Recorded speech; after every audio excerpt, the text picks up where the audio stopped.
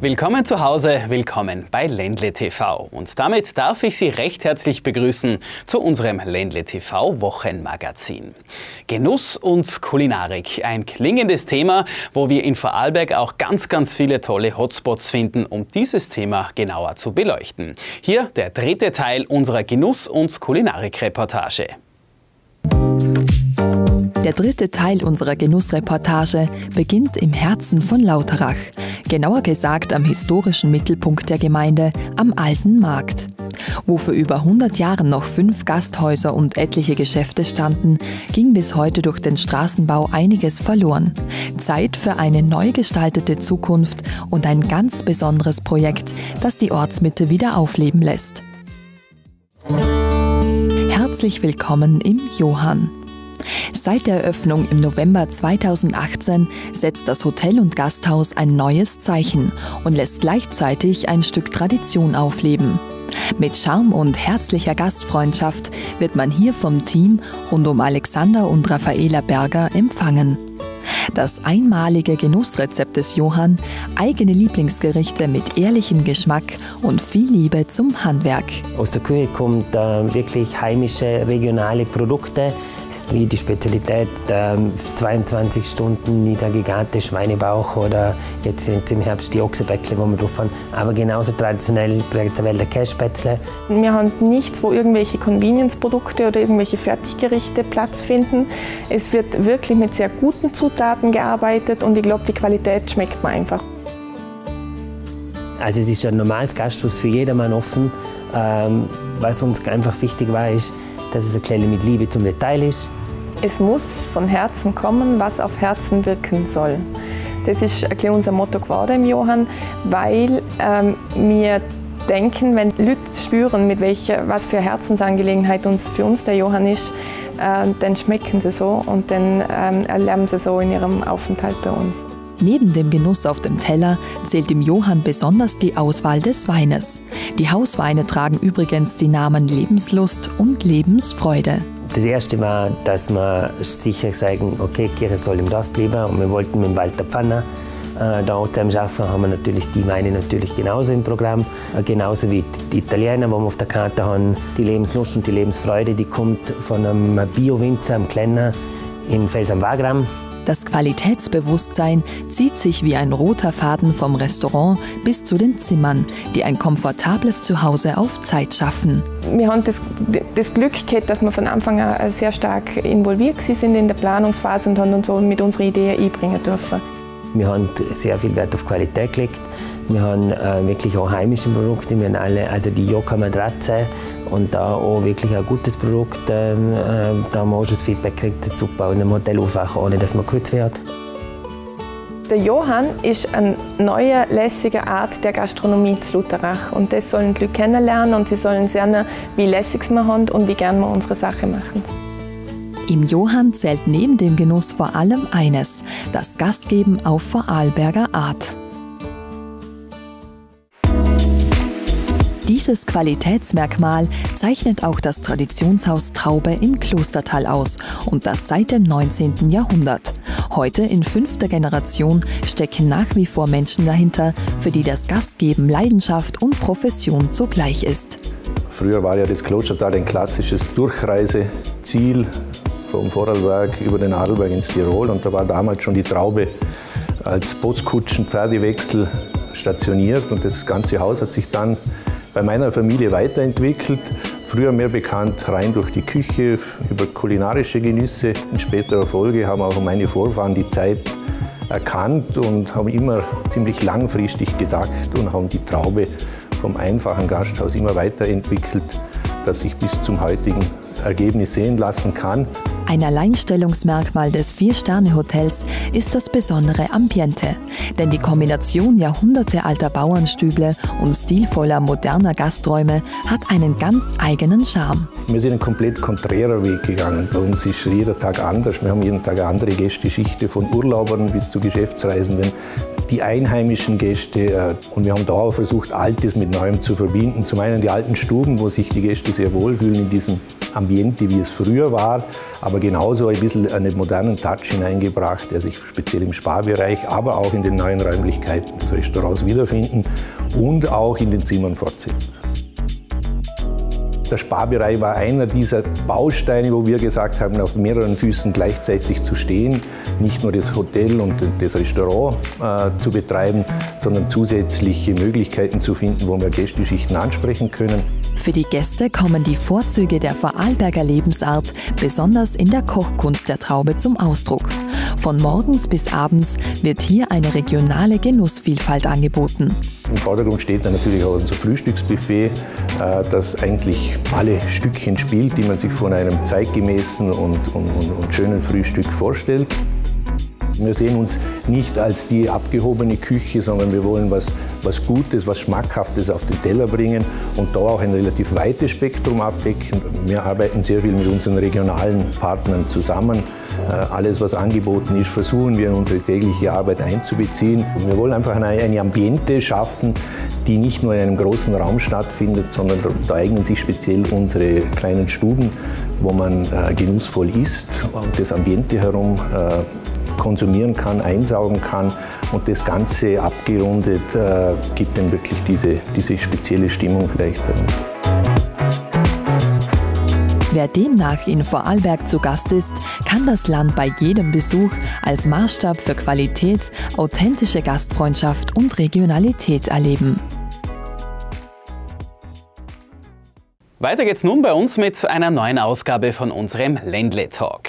Hier darf sich Ländle TV Geschäftsführer Günther Oberscheider wieder mit einem spannenden Gast unterhalten. Es geht dieses Mal um die Finanzwelt. Hallo und herzlich willkommen zu einer neuen Ausgabe Ländle Talk, wiederum direkt hier aus dem Studio am Garmarkt in Götzis. Heute ein Thema, das nicht nur bei den Landtagswahlen ein großes Thema war, sondern die Menschen in Vorarlberg äh, generell interessiert und natürlich auch berührt. Und zwar geht es um leistbares Wohnen. Bei mir ein Mann, der sich mit leistbarem Wohnen und überhaupt, was ist leistbar und nicht leistbar auskennt. Herzlich willkommen, Herr Köp. Vielen, vielen Dank für die Einladung. Herr Köp, ich freue mich wirklich auf dieses Gespräch, weil es sehr spannend ist. Ja. Sie sind in einer Branche tätig, die für mich so nicht bekannt war. Sie sind Kreditmakler. Genau. Was ist ein Kreditmakler? Naja, ein Kreditmakler kann man irgendwie vergleichen oder sinnesgemäß macht er das Gleiche wie ein Versicherungsmakler. Äh, der sondiert für seine Kunden einfach die Bankenlandschaft und versucht dann nachher, wie der Name schon sagt, Kreditmakler für einen Kunden nachher das Optimum an einem Kredit zu holen. Das heißt einmal, ein Kunde sagt, ich möchte eine Wohnung kaufen, ich möchte ein Haus kaufen, irgendetwas, möchte aber nicht selber zu einer ganzen Bank rennen, dann kann der zu mir kommen, dann kriegt der von mir zuerst einmal eine Beratung, wo geht seine Strategie an, was tät er gern, wo geht seine Zukunft an, Familienplanung etc. Und dann haben wir mal ein Konzept und das unterbreiten wir nachher den ganzen Banken und dann kriegen wir die Angebote von der Bank und die gehe ich dann nachher in weiterer Folge einfach mit dem Kunde durch und dann kann er sich neutral für eine Bank und für ein Angebot entscheiden. Also wie gesagt, Versicherungsmakler ist bekannt. Die Vorteile eines Versicherungsmaklers kennt man auch. Äh, und die Vorteile bei einem Kreditmakler liegen ja in dem Fall auch auf der Hand. Es gibt unterschiedliche Angebote. Ganz genau. Aber wie wird man Kreditmakler? Wie wird man Kreditmakler? Also ich muss gestehen, äh, bei mir war ziemlich früh klar, dass ich kein technischer Beruf ausüben würde. Äh, habe dann auf das eine äh, Bürolehre gemacht und während der Lehre bin ich drauf gekommen, naja, vielleicht hätte ich doch noch kleine gern das eine oder andere lernen. Habe berufsbegleitend Matura und Studium nachgeholt. Bin dann nachher in weiterer Folge auf einer Bank gelandet.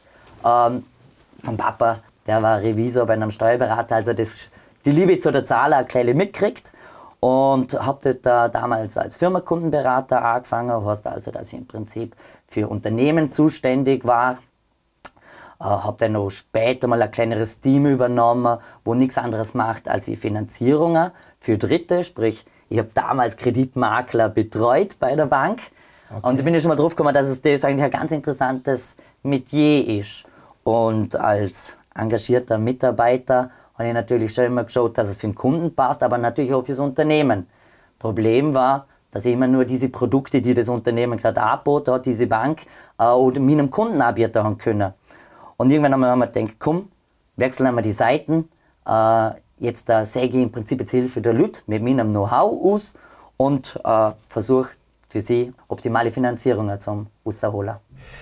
Jetzt äh, das Thema leistbares Wohnen. Ich habe es in der Rahmenmoderation erwähnt. Ja. Äh, Vorarlberg hat ja wirklich das Problem, nicht nur junge Leute, sondern generell äh, wird ja das Wohnen in, in Vorarlberg immer teurer. Also österreichweiter Vergleich äh, explodiert Vorarlberg. Genau. Ähm, warum ist es äh, in Vorarlberg grundsätzlich so teuer und vor allen Dingen äh, gibt es, ist irgendeine Besserung in Sicht? Ähm, ich habe eine persönliche Meinung. Ich denke einfach, Vorarlberg ist eine starke Wirtschaftsregion. Wir sind ein tolles Land äh, mit tollen Leuten, die einfach sehr fließig sind. Äh, und am Preis entsteht durch Angebot und Nachfrage. Und jetzt haben wir natürlich Zuzug äh, in nach Vorarlberg. Wir haben irgendwo eine begrenzte Anzahl an Wohnungen und die Leute können es sich leisten. Und somit wird einmal das Mieten teuer. Ich glaube, ich vor kurzem gelesen, äh, Bezirke Bregenz, Dornbirn und Feldkirch sind in den Top 5 österreichweit, was der Mietzins betrifft. Ist der Einfluss aus der Schweiz auch mit äh, ein Grund, dass die Preise so hoch sind? Also ich kann mir es vorstellen, es sind ja und, äh, viele Grenzgänger, die in der Schweiz die nicht schaffen, bei uns wohnen, äh, die schaffen Körig und verdienen in dem Fall auch Körig und äh, somit steigt auch die Kaufkraft in, in Vorarlberg und das ist halt, wie, wie gesagt, ein Angebot und Nachfrage. Wir haben äh, sehr viele Leute, die sich das leisten können und somit wird einfach das Angebot erhöht. Jetzt hatten wir Landtagswahlen, das war bei den Politikern das große Thema, leistbares ja. Wohnen in Vorarlberg. Äh, was sagt jetzt ein ähm, Profi als Kreditmakler, was sollte die Politik unternehmen? Man muss mal analysieren, wie kommen diese Steigerungen zustande? Ist das eine reine Gewinnoptimierung der Bauträger? Äh, ist es wirklich rein auf das Grundstück äh, zum Zurückführen, das immer teurer und teurer wird. Schwierig zum sagen. Ich meine, die Politik versucht mit Fördermöglichkeiten dagegen zum Steuern, ähm, dass auch junge Menschen sich das noch leisten können, gewisse Wohnungen, aber es wird sicher schwierig in Zukunft. Wie reagieren eigentlich die Bauträger auf diese Preissteigerungen? Jetzt bin ich kein Bauträger, ich kann jetzt da nur vermuten. Äh, die werden sich wahrscheinlich freuen, dass man im Prinzip solche äh, ja, kontinuierlichen Steigerungen hat bei den Preisen, dass es einfach immer noch genügend Leute gibt, die sich das leisten können. Und äh, ja, wenn ich die Möglichkeit habe, ein Produkt, ein tolles Produkt zu einem tollen Preis zum Verkaufen und ich habe dementsprechend genug Interessenten, ja, dann würde ich das um den Preis verkaufen. Es müsste halt mal eine Reduktion geben bei den Interessenten. Und dann müsst, wird halt das Angebot angepasst. Was mich interessieren würde, also ich habe für mich eigentlich eine Antwort darauf, aber vielleicht äh, gibt es eine andere. Ja. Was ist eigentlich äh, interessanter, mieten oder kaufen in der jetzigen Zeit? In der jetzigen Zeit. Ich glaube, das kommt darauf an, man muss selber noch wissen, wo einen das Leben anführt.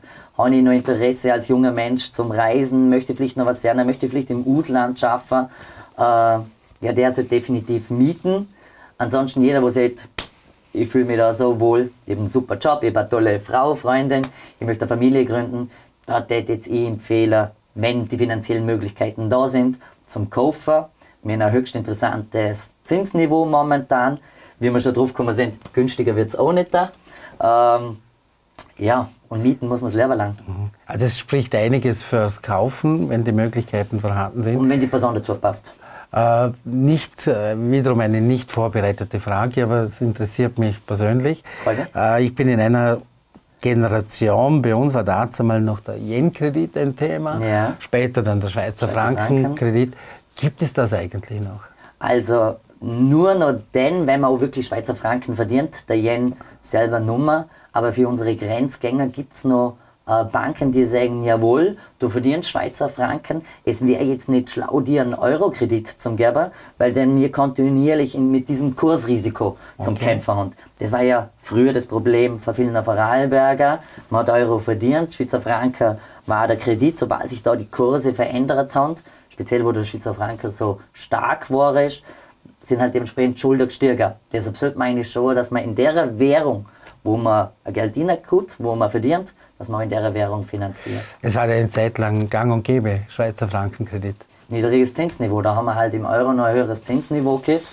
Äh, und dementsprechend hat man einfach auf einen Yen-Kredit gewechselt, wobei ganz klar nicht das Risiko in dem Fall im Zins liegt, in der Zinssteigerung, sondern im Kursverlauf. Mhm. Eine ganz einfache, laienhafte Frage, wie finanziert man dann richtig? Wie man richtig finanziert? äh, ja, das ist eine sehr gute Frage. Leider kann man die nicht bloß mit einem Satz beantworten. Ich persönlich glaube, Finanzierer ist eine Bauchgefühlgeschichte. Man muss sich mit, dem, mit der Medizinentscheidung wohlfühlen. Somit ist für jeden anderen richtig eine andere Form der Finanzierung. Der eine ist ein kleiner konservativer, der sieht einfach bloß zu, ähm, ich hätte gerne einen Fixzinssatz, momentan sowieso sensationell, äh, die Fixzinssätze, was die Bank anbieten. Und der ist schon bereit, um ein kleines mehr zahlen, als wie einer, wo das dann noch variabel hat. Variabel ist nichts anderes, als wir je nach Wirtschaftslage verändern sich die Zinsen nach oben und nach unten. Dadurch, dass man momentan so ein niedriges Zinsniveau hat, können die Zinsen eigentlich bloß noch irgendwann einmal nach oben gehen. Die Frage ist, wenn. Und wenn einer sagt, ich bin bereit, jetzt da ein bisschen mehr Risiko zu mir gehen, weil ich denke, ähm, es bleibt, das Zinsniveau bleibt tief, ja, der wird dann halt variabel und somit haben wir verschiedenste Typen mit verschiedenster richtiger Finanzierungen. Wie lange kann man eigentlich äh, Fixzinssatzvereinbarungen machen?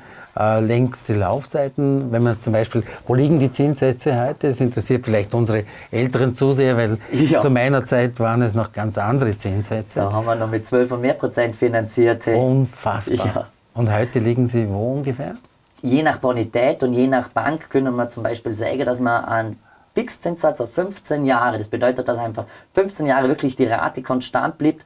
Da können wir liegen von einer Bandbreite von 1,20 auf 15 Jahre bei, weiß Gott, was sehr, sehr guter Bonitäter bis 1,75.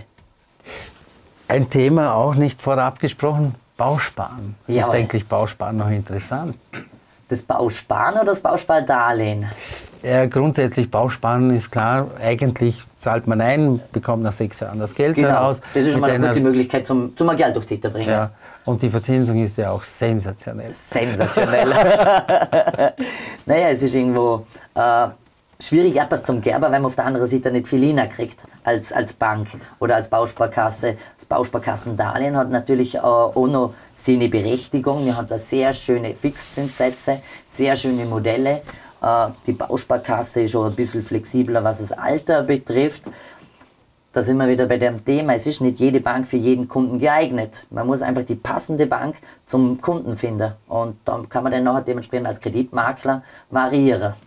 Ich hätte eigentlich noch eine Frage vorbereitet, aber die hat sich aus diesem Gespräch für mich schon fast erledigt. Warum sollte ich zu Ihnen kommen? Also, warum soll man zum, zu einem Kreditmakler kommen? Äh, weil er natürlich dem Kunden ganz viel Arbeit abnimmt, Zeit. Äh, ist ja nicht so, dass man nur einen Banktermin hat und dann gleich mal das fertige Angebot von der Bank kriegt. Nein, man muss da öfters reinigen. Warum man zu mir kommen muss äh, oder es darf, sollte, keine Ahnung, wie das kann, ist, kann das ausdrucken darf. Äh, dadurch, dass ich natürlich von der Bank komme, kenne ich auch die Seite äh, und kann im Prinzip dem Kunden auch die Sichtweise der Bank erklären. Und das ist mir eines der wichtigsten Anliegen. Meine Kunden sollen nach meiner Gespräche oder nach der gemeinsamen Gespräche, äh, sollen sie einfach wissen, was sie da abgeschlossen haben. Sie sollen sich mit der Materie wohlfühlen. Sie sollen ein gutes Buchgefühl haben. Und ich berate von daheim aus, äh, lade somit die Leute zu mir heim ein, weil man fragt so viel Persönliches oder ich muss so viel persönliche Sachen wissen, ähm, dass ich mir denke, dann, es ist nur fair, wenn ich auch was Persönliches zurückgebe. Klingt, klingt absolut vernünftig. Und Jochen ja. Köp, äh, Köp Finanz, oder? Ja. Hat aber nicht nur, wenn wir beim Privaten jetzt noch sehen, Bitte, ja. hat nicht nur, ja, lebt natürlich, äh, lädt die Kunden auch nach Hause ein, aber ich nehme an, er ist nicht immer nur zu Hause. Ich weiß aus dem Vorgespräch, Sie waren oder sind Ringer. Genau. Ringer ein, ein Sport in Vorarlberg, der es absolut in sich hat. Wir haben tolle Vereine. Fünf Vereine in Vorarlberg. Fünf Vereine, auch Wohlfahrt. Ganz genau. Bei dem Sie mit dabei sind, ja, ein genau. starker Verein. Macht Ringen einem nicht nur körperlich, sondern auch geistig stärker? Man lernt mit Stresssituationen umgehen. Man ist im Prinzip, wenn man da so seinen Kampf hat, da hast das Mann gegen Mann. Man kann nicht auf seinen Partner vertrauen. Also ich glaube schon, dass man nicht nur körperlich stärker wird, sondern auch mental reift. Man muss über seine Grenzen rausgehen. Äh, das macht absolut Sinn auch fürs weitere Leben. Also ich habe mich bemüht, dieses Gespräch sympathisch zu führen, denn ich will nicht mit Ihnen auf die Matte. ganz harmlos. Wir sind äh, schon fast am Ende. Was wünschen Sie sich für die Zukunft? Wünschen gesund bleiben, dass es meiner Freunde, Familien, Bekannten allen gut geht und dann bin ich eigentlich schon zufrieden. Und allen Vorarlberger eine vernünftige Finanzierung, nehme ich an. Das wünsche ich definitiv jedem Vorarlberger, ganz klar. Vielen herzlichen Dank. Aus meiner Sicht war es das. Wenn es nichts mehr Besonderes zum Anbringen gibt, bedanke ich mich recht Vielen herzlich Dank. fürs Gespräch. Dürfen eigentlich Ringer äh, trinken? Sehr, sehr gerne sogar. Also mal als Person.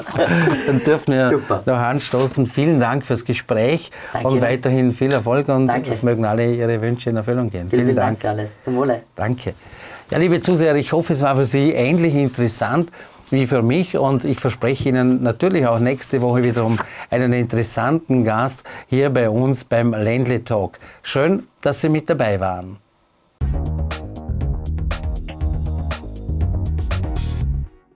Ländle TV vor Adelberg.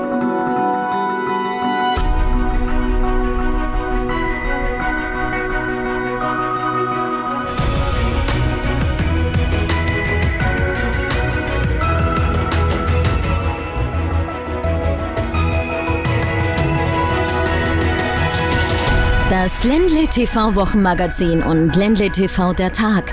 Täglich um 12 und 23 Uhr auf R9. Regionales Fernsehen Österreich.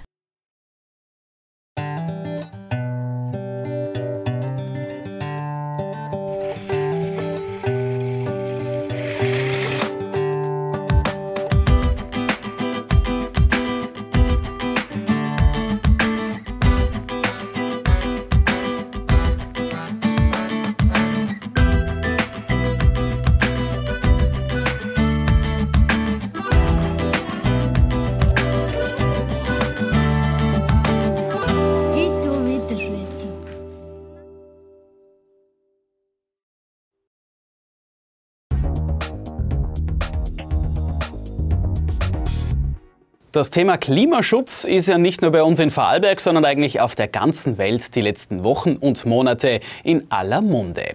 Aber was tut man denn in Vorarlberg bereits für den Klimaschutz? Schon gewusst? Klärt auf.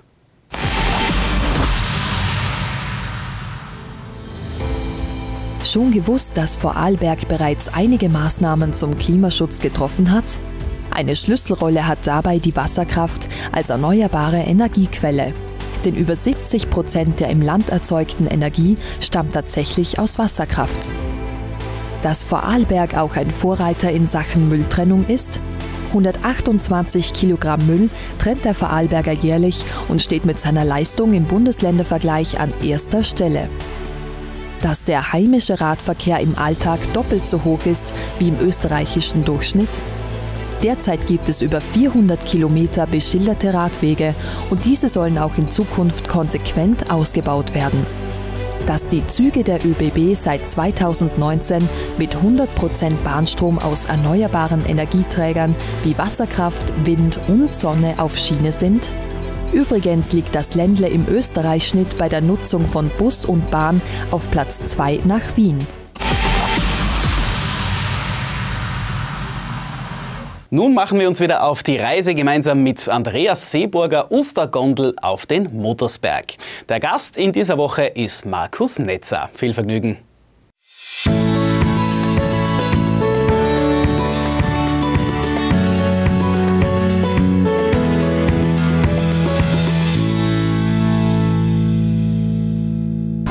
Schön, dass Sie wieder mit dabei sind bei einer neuen Folge von Gemüsegärtnermeister sucht Frau. Na, Blödsinn.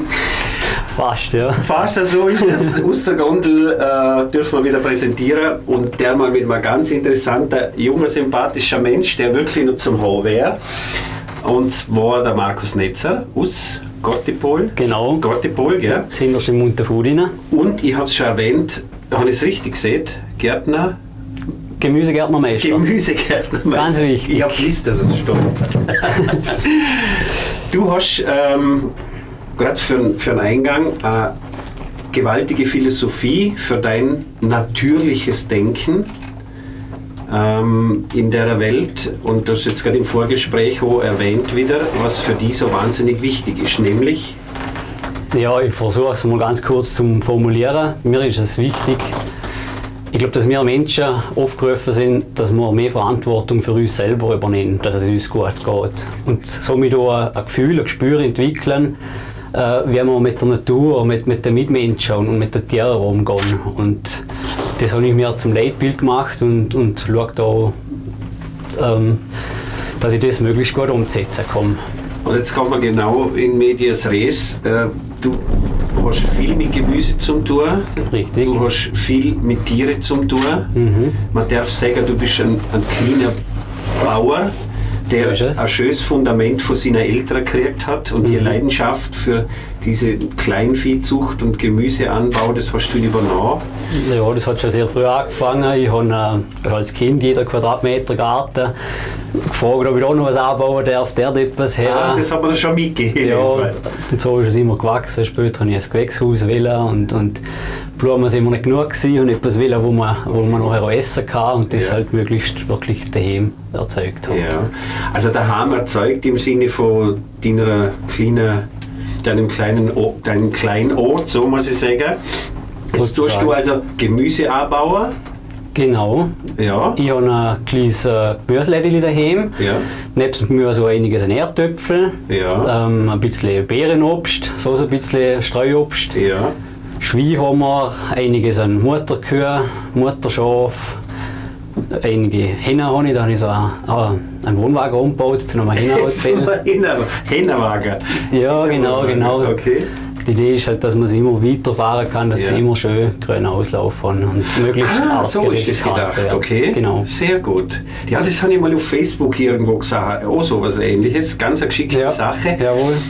Wenn jetzt äh, du zurückblickst, jetzt noch einmal in deine Kindheit, was man da, da mitgegeben hat, wie ist es denn damals gewesen? Hat man dort auch mit dem Gedanke Viehzucht und, und, und Gemüsezucht betrieben, wie es du heute machst? Äh, jein. Ich glaube, der Grundstock natürlich haben wir meine Eltern gelegt, wobei wir haben einen kleinen Hausgarten gehabt daheim. Äh, der Vater hat alle schon Kühe gehabt und, und Schaf. Zuerst haben wir die Kühe noch gemolken, früher. Äh, mittlerweile lassen wir es alles saugen. Ja. Mir ist das zu wenig gewesen, weil ich habe einfach gemerkt, ganz Vorarlberg hat einen riesengroßen Selbstversorgungsgrad an, an Milchprodukten, Ja. aber kaum ein Getreide oder, oder ein Gemüse oder, oder so etwas. Und das habe ich ändern wollen, weil ich, wir brauchen halt anderes als nur Fleisch und Milch und, und dernige Sachen auch für unsere Ernährung. Ja. Jetzt, bist äh, zarte 30. Äh, Richtig. hast deine, ist das eine Lehre eigentlich, was man da gemacht hat, wo du deine Urkunde hast, das äh, ja. Gemüsegärtnermeister? Genau, also zuerst habe ich Gemüsegärtner gelernt, als, Ja. als Lehrer nach der Landwirtschaftsschule. Und äh, auf einem Demeterbetrieb habe dann äh, einige Jahre im Ausland geschafft, in einem Biolandbauprojekt in Mittelamerika, in El Salvador und, und habe da in der Schweiz und überall ein bisschen meine Erfahrungen gesammelt. Und ja, bei uns kann man es mittlerweile auch lernen. Und vor einigen Jahren habe ich jetzt noch gesehen, möchte ich den Meister noch draufsetzen. Ah, okay. Den habe ich dann Ja. zusätzlich gemacht. Respekt. Genau. Wie, wie, wie ist das im, im Ausland so für dich jetzt? Anders, nehme ich an. Natürlich. Anders, aber echt sehr ähnlich. Ja. Irgendwie, also natürlich Mittelamerika ist ein, ein sehr großer Kontrast, vor allem auch was Kriminalität betrifft, aber auch wie die Leute dort, sage ich jetzt einmal, ticken. Mit der Natur umgehen. Mit der Natur umgehen natürlich, aber auch, das habe ich jetzt den Eindruck gehabt, die Lebenseinstellung Sie, sie, sie haben es nie gelernt, wirklich selber Verantwortung für Ja. sich zu übernehmen. Man hat immer gesehen, wie. Genau, und da bin ich in einer sogenannten Entwicklungszusammenarbeit in einem Ja, Projekt habe ich ja. da mitgeschafft. Und da habe ich das Ganze ein bisschen erfahren dürfen. Ja. Sehr gut. Mmh, Schweinebraten mit Sauerkraut und Knödel. Kalbsleber mit Reis. Frische Forelle. Mmh, sauren Kutteln mit Bratkartoffeln. Ah, Schweinekotelett mit Kroketten. Mmh, Rindgulasch mit Spätzle. Österreichische Schnitzel aus der Butterpfanne. Mmh, Kässpätzle mit Kartoffelsalat. Österreichische Kühe in Pizzeria Antonio in Bludenz. Du kannst jetzt nach deinen eigenen Wünschen und vor allem nach deinem Denken für das, was du jetzt gesehen hast, mit der Natur gehen, kannst du die Gemüselädele weiterentwickeln? Oder machen die das mit den Eltern zusammen? Oder wie, wie läuft das jetzt? Bist du der Chef jetzt? Ja, genau. Äh, also ich mache es am elterlichen Betrieb. Ja. Äh, Meine Familie unterstützt mich da immer wieder sehr stark. Hauptsächlich meine Ahnen. Ja. Ähm, weiterentwickeln kann man Betrieb immer. Ja. Ich äh, schaue stetig, dass ich neue innovative Produkte habe. Ich habe äh, zum Beispiel, man kann zu ein Lädeli zum Popcorn machen, 24 Stunden, 7 Tage in der Woche. Äh, mittlerweile habe ich jetzt hier Hanfprodukte. Ich habe, äh, also bei Munterfu ist das früher Tradition gewesen. Da hat man es jetzt hauptsächlich Ja. zum Seiler machen, hat man es da abgebaut. Ja, ja. Und ich, hab, äh, ich möchte jetzt Fasern gewinnen und äh, also Tee habe ich auch. Und dann aus der Samen halt das Öl machen. Wo holst du das immer? Sieht man das irgendwo anders? Oder kommt dir das in den Sinn? Natürlich, Inspiration hole ich mir schon Ja. von woanders, Ja. von anderen Betrieben.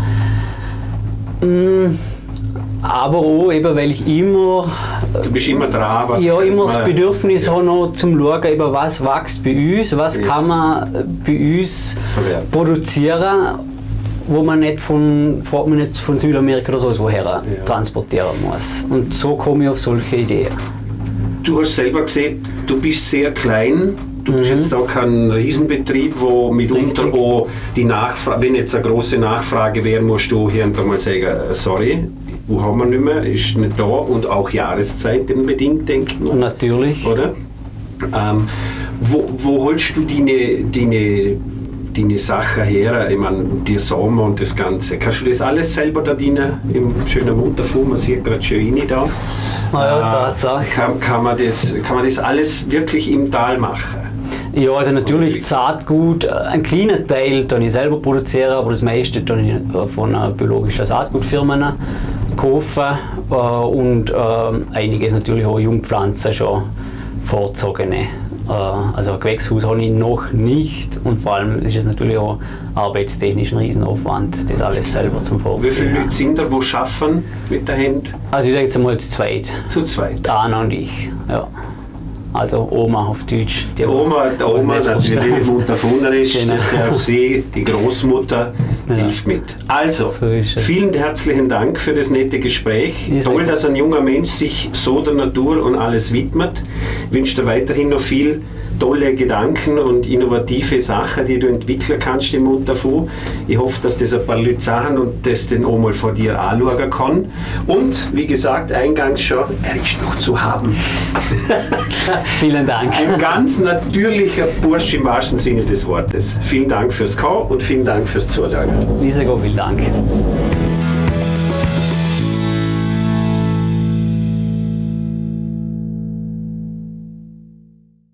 Wir sind nun auch schon wieder am Ende von unserem Ländle TV Wochenmagazin. Schön, dass Sie mit dabei waren. Es folgt nun wieder Fokus Sport, dieses Mal mit Benedikt Drechsel und ich darf mich an dieser Stelle verabschieden. Machen Sie es gut. Tschüss.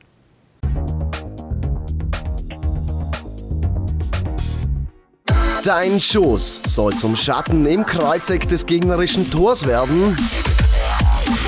Dein eigener Schatten soll bei deinem Antritt blass aussehen. Das richtige Equipment in Sachen Fußball findest du bei Wilhelmer Teamsport in Dornbirn und Van Dans. Diese Sendung wird präsentiert von Admiral. Ich Spaß. Du gewinnst.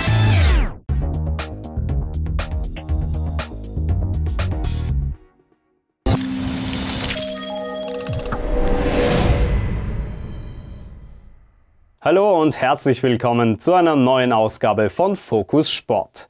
Wir beginnen direkt mit der VNAT Elite Liga. Da steht ja der Dornbirner SV seit dem dritten Spieltag an der Tabellenspitze. Und nun fehlt nicht mehr viel bis zum Erreichen des Playoffs. Die Ausgangslage für den DSV ist klar. Holt man in Wolford einen Punkt, so löst man fix das Ticket für die Regionalliga-Playoffs im Frühling. Der FCW allerdings heimstark. Holte man ja vier der fünf Siege auf dem eigenen Platz. Und mit diesem Mut starten die Gelbblauen auch in die Partie. Benjamin Neubauer nach 34 Sekunden. Dieser bringt dann in der 21. Minute einen Eckball rein und Brüstle erfolgreich im zweiten Versuch. Die zu diesem Zeitpunkt verdiente Führung für Wolfurt. Kurz darauf klopft der DSV zum ersten Mal an. Bodemann für Erhard, jedoch kein Problem für Godula. Erhard wenig später in ähnlicher Position, dieses Mal jedoch das Zuspiel auf Röser und der Ausgleich.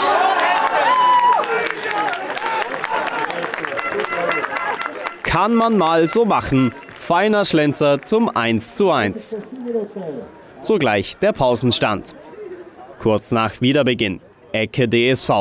Und am linken Bildrand taucht erneut Röser auf. Der Ball ewig lang unterwegs. Kein Wolfurter kümmert sich um den Elfer des DSV und er nimmt die Kugel direkt und trifft zum 2:1. Sehenswerter Treffer, jedoch Wolfurt viel zu passiv in dieser Situation. Nach einem Eckball wird es gleich wieder gefährlich. Erhard spielt die Kugel kurz ab und bekommt sie erneut. Abschluss saust am Kasten vorbei. Es geht hin und her. Brüstle setzt sich durch, aber lässt dann diese Chance liegen zum Haare raufen. Großchancenalarm dann in der 76. wieder auf der anderen Seite. Erhard für Kaufmann, doch im letzten Moment Djordjevic dazwischen. Die letzten Minuten laufen bereits. Der DSV jetzt mit viel Platz zum Kontern. Erhard verschleppt das Tempo ein wenig, aber agiert erneut uneigennützig. Junior mittlerweile eingewechselt, doch wieder ein Wolforter dazwischen. Der FCW mit einer tollen kämpferischen Leistung.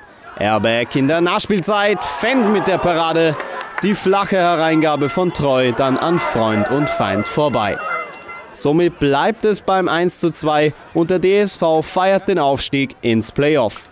Ob da Andreas Röser mit von der Partie sein wird, ist noch offen. Der Top-Torschütze der Dornbirner geht demnächst auf Weltreise. Die Dornbirner dürfen im Frühling also auch reisen, jedoch nur bis nach Tirol oder nach Salzburg. Das würden gerne auch die Langenecker. Diese haben drei Spieltage vor Schluss noch die reelle Chance, Platz 2 zu erreichen. Beide Teams, zuletzt überaus erfolgreich, gehen mit breiter Brust in die Partie agieren nach dem Ampfiff von Schiedsrichter Dichtel mit Vollgas. Das Standgas bleibt in der Kabine. Initiativ und zweikampfstark erarbeiten sich die Heimischen die Kontrolle im Spiel. Es dauert allerdings bis zur 13. Minute, bis der SCR so richtig gefährlich vor den Langenecker Kasten kommt. Polter in die Gasse für Kilian Schöch und es heißt 1 zu 0. Nein, der Treffer zählt nicht. Die Fahne ist oben, abseits. Da ist er weiter im Vorwärtsgang. Macht Druck. Sieben Minuten später. 20. Spielminute. Schneller Angriff der Heimischen über die linke Seite. Sola findet Julian Meyer. Und es heißt 1 zu 0 für den SCR.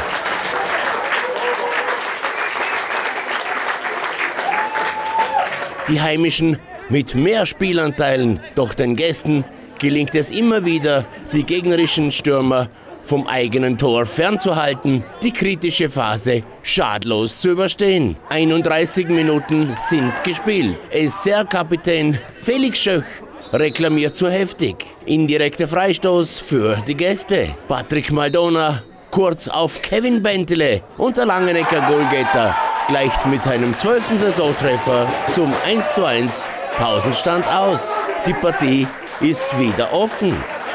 Nach dem Seitenwechsel kommen die Langenecker mit mehr Engagement aus der Kabine. Was für ein Auftakt für die Wälder. Flanke de Sousa, Direktabnahme Bentele, Top-Safe von Rötis Keeper Wachter. Es hätte gut und gerne 2 zu 1 für die Gäste heißen können. Die Partie weiter offen, mit leichten Vorteilen für die Wiesentheiner Elf. 78. Spielminute. Da schönt es im Radstadion.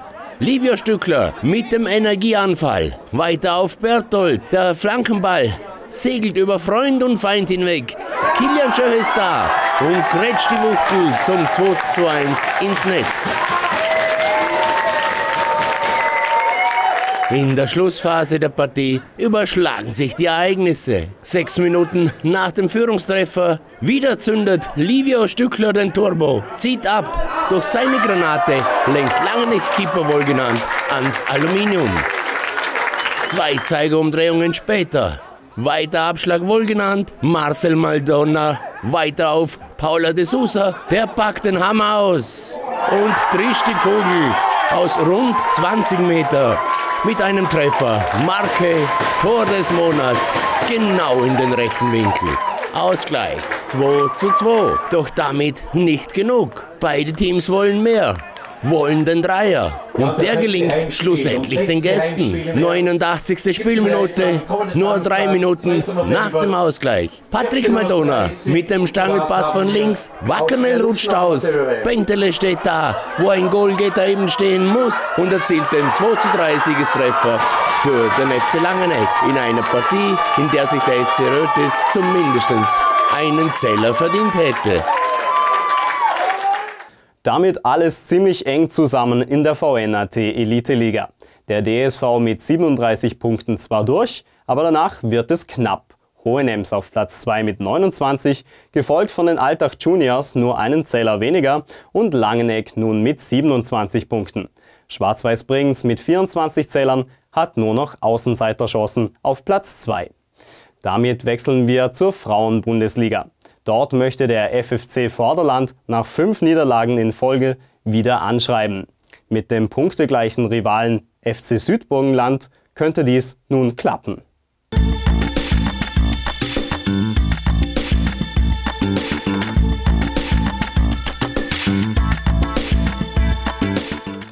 Achte Runde in der Planet Pure Frauen-Bundesliga. Der FFC Verfester Vorderland trifft im letzten Heimspiel der laufenden Herbstsaison im Duell West gegen Ost auf den FC Südburgenland. Die Gäste, zuletzt dreimal in Serie erfolgreich, wollen auch im Ländle ihre Serie fortsetzen. Doch der FFC drückt von Beginn weg aufs Tempo, will die drei Punkte unbedingt im Vorderland behalten, den Gästen zeigen, wer die Frau im Hause ist. Die Zweikämpfe werden angenommen, der Gegner unter Druck gesetzt. Mehr Ballbesitz, ohne daraus aber echte Torschancen zu kreieren. Offener Schlagabtausch im Radstadion bis zur 23. Minute. U19-Teamspielerin Anna Bereuter wird von Emily Köppel gefault. Freistoß rund 20 Meter vor dem Burgenländer Kasten. Die Gefaulte selbst tritt an, und zwirbelt die Kugel um die Mauer herum zur Vorderländer Führung in den Kasten.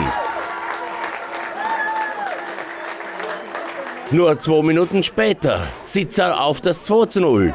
Zuckerflanke Anna Bereuter, Kopfball Eileen Kempel, knapp am Burgenländer Kasten vorbei. Und so geht es mit einem knappen 1 zu 0 für die Simonelli 11 in die Pause. Hinein in die zweite Spielhälfte. Die Gäste gehen aggressiv ans Werk, wollen über gewonnene Zweikämpfe ins Spiel zurückkommen. 57. Spielminute, der FFC agiert zu sorglos. Ballverlust im Mittelfeld und dann geht's schnell. Minjarikova auf Stefanie Koch-Lefebvre. Die Angreiferin fackelt nicht lange und die Kugel zappelt zum 1 zu 1 im Netz.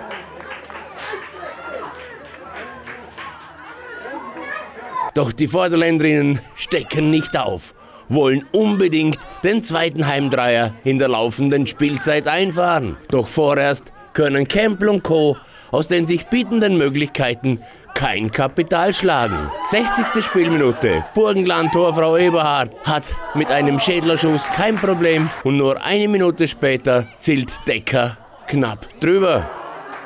In der 72. Spielminute dann doch der Führungstreffer für den FFC. Kiki Kirchmann auf Claudia Schädler. Deren Flanke wird länger und länger und senkt sich zum Entsetzen der Gäste zum 2 zu 1 genau ins lange Eck.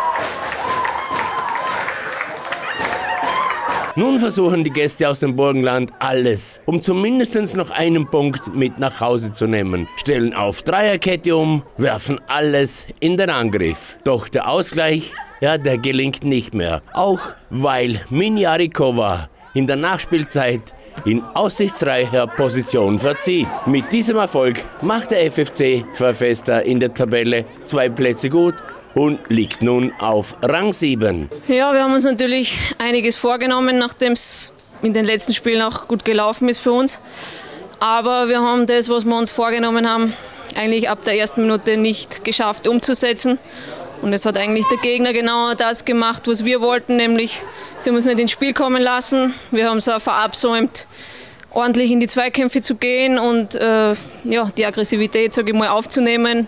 Und spielerisch war halt einfach, ja, sage ich eigentlich über 90 Minuten fast äh, nicht viel vorhanden. Es waren eigentlich aber auf beiden Seiten wenig Torchancen, nur hat halt der Gegner um ein Tor mehr gemacht. Wie groß ist der Brocken, der Felsbrocken, der heruntergefallen ist? Ja, ist sehr. In dem Moment, wo wir uns jetzt befinden, sind die Punkte alle wichtigsten. Äh, zum Spiel haben wir schon gewartet, dass ein Kampfbeton gespielt wird. Aber spielerisch ist die erste Halbzeit von unserer Seite relativ gut gewesen. Und die zweite wirklich nur um Kampf gegangen. Haben wir den Vater ein bisschen verloren, aber schlussendlich, glaube ich, verdient gewonnen.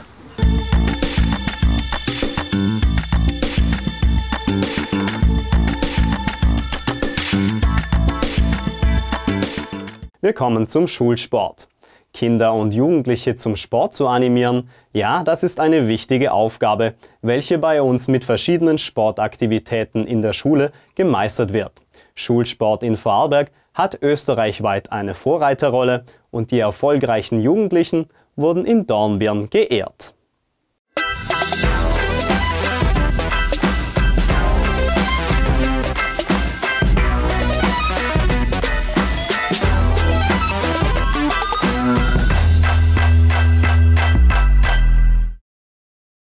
Am Dienstagabend war die Inatura in Dornbirn Schauplatz für das erste große Highlight im heurigen Schulsportkalender. Die bei den Bundesmeisterschaften erfolgreichen Sportlerinnen und Sportler aus Vorarlberg wurden ausgezeichnet. Für die jungen Talente ist dies natürlich ein toller Moment. Und die freudigen Gesichter sind auch die Bestätigung, dass der aktive Schulsport im Ländle genau der richtige Weg ist. Diese vielen begeisterten Pädagoginnen und Pädagogen, die hier mitarbeiten, diese Riesenunterstützung, die wir von Seiten des Landes bekommen, die wir von Gönnern, Unterstützern, Sponsoren, man sieht, alle ziehen an einem Strang und jeder misst das große Ziel eines jeden ist es, die Kinder zu bewegen und zu sehen, dass sie Freude am Sport und an der Bewegung haben. Und das ist eigentlich die Motivation für uns. Ich, ich denke, jedes Kind, das sich bewegt, ist für uns ein Riesengewinn.